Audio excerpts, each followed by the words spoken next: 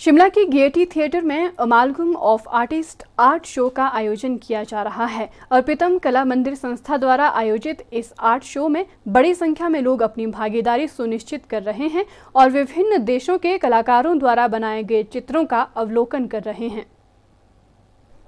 शिमला के ऐतिहासिक Getty theatre में इन दिनों चित्रकला प्रदर्शनी का आयोजन किया जा रहा है, जिसमें विभिन्न देशों के कलाकारों के चित्र प्रदर्शित किए जा रहे हैं। इस प्रदर्शनी का मुख्य उद्देश्य कलाकारों को मंच प्रदान करना है। ये चित्रकला प्रदर्शनी 27 जून से 1 जुलाई तक आयोजित की जा रही है। अर्पितम कला मंदिर संस्था की ओर से आयोजित इस प्रदर्शनी में स्थानीय लोगों के साथ साथ पर्यटक भी बढ़ चढ़कर अपनी भागीदारी सुनिश्चित कर रहे हैं। अर्पितम कला मंदिर संस्था के संस्था संस्थापक गौतम दास ने बताया कि संस्था द्वारा समय समय पर कलाकारों को मंच प्रदान करने के उद्देश्य से इस प्रकार की प्रदर्शनी का आयोजन किया जाता है। उन्होंने कहा कि वो विभिन्न जगहों पर प्रदर्शनी आयोजित करते हैं और शिमला में उन्होंने पहली बार प्रदर्शनी का आयोजन किया है।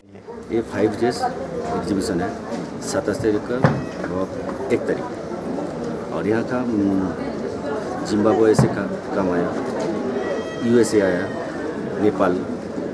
बांग्लादेश, इंडिया।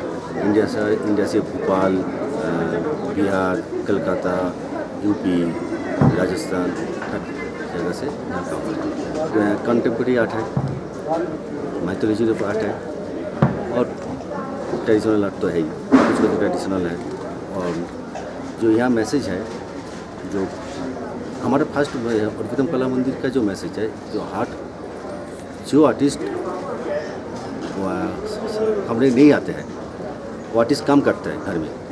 कहीं एग्जीबिशन करने के लिए उसका कहाँ करूँ कैसे करूँ? तो मैं उसका वो आर्टिस्ट को लेके एक काम करते हूँ। हर देश में जाती हूँ और स्टेट में काम करती हूँ। ये मैं, मैं मेरा ये प्रोग्राम था जो शिमला में करूँ। शिमला बहुत अच्छा है, है।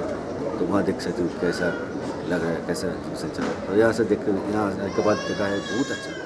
Bureau report city channel Shimla.